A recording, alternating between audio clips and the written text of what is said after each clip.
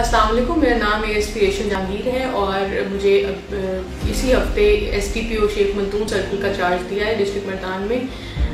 मेरा ये मैसेज जो है, ये शेख मंतून सर्कल के तमाम आवाम के लिए माशाल्लाह बहुत पढ़ी लिखी आवाम है यहाँ पर और जो अर्बन पॉपुलेशन है वो लॉ से और जनरल जो प्रिंसिपल्स हैं उनसे बहुत ज़्यादा अवेयर हैं। तो स्पेशली मैं आपको ये पैगाम देना चाहती हूँ कि किसी भी किस्म की कोई एक्टिविटी कोई इलीगल एक्टिविटी जो आप अपने इर्द गिर्द देखें तो आप हमारा जो S T P O Sheikh Matoon circle का पेज है फेसबुक का, वहाँ पर हमारा नंबर भी मौजूद है। आप डायरेक्टली हमसे रबता करें।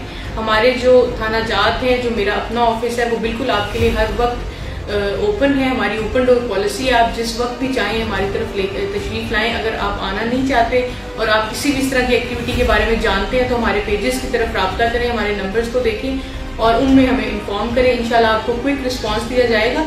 और अगले हफ़्ते इंशाल्लाह मैं एक पब्लिक अवेयरनेस की कैंपेन भी स्टार्ट कर रही हूँ स्पेशली शेख मखनून टाउन का जो एरिया है, वहाँ पर जो स्ट्रीट क्राइम के अगर कुछ मसले मसाइल हैं और और इस तरह के इश्यूज़ हैं जो आप लोग हमारे नोटिस में लाना चाहते हैं, इंशाल्लाह अवाम रबता मुहिम एक हम आगाज़ कर रहे हैं। तो आप लोगों ने पुलिस का साथ देना है और हमारी, आपने मदद करनी है कि हम जो जराइम पेशा अनासर हैं, उनको अपने सर्कल से निकाल सकें।